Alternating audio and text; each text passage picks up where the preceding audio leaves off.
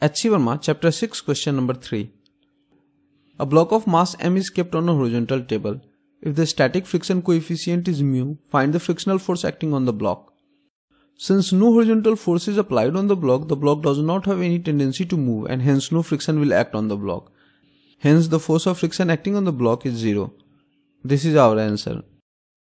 In order to request solution to any question from HC Verma book, post the question number and chapter number in comments below. Like and share the video to help other students find us. Subscribe the channel, like our Facebook page and follow us on Twitter for latest updates.